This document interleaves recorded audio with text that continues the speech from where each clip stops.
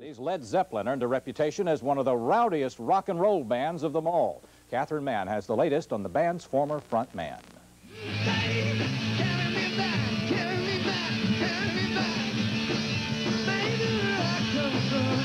Lead singer Robert Plant, with his long blonde hair and shirt open to there, was heavy metal's super stud.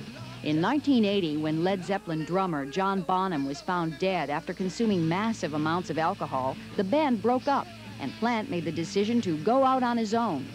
Really, it was a case of do nothing and go to seed, or rethink the whole thing. There's lots of trial and error, and I worked around the clubs in England secretly. Secretly? Well, I played in a band where my name wasn't mentioned. It allowed me, it allowed me to get back playing in small places again, to sort of refire my confidence in myself. What had happened to your confidence? Well, I was just alone. That was it. I just had to find out exactly whether I had the bottle, the nerve, the desire, the want, the wish.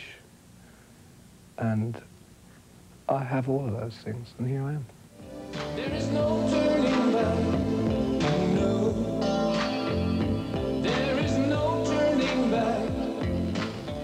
Plant is doing well with his solo career. His last two albums climbed high on the charts, but his music is more subdued. So is his image and his behavior.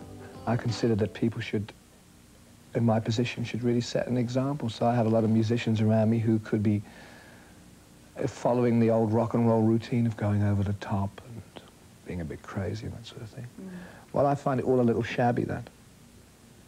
I mean, I've been a good exponent of that lifestyle, but it's just one of those things. It's gone, and I'm a little more sedate, more comfortable.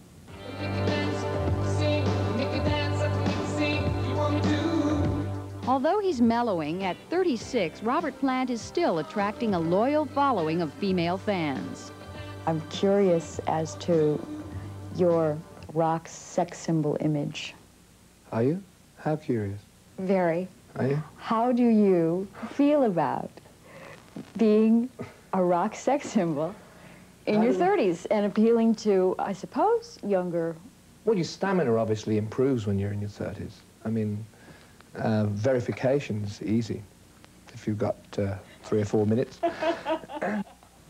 Would you say that you're happier now in your work than you were when you were with Led Zeppelin? I'm happy now to be succeeding at something where I had an intention and I followed it through, so right now I'm perhaps a little pleased with myself.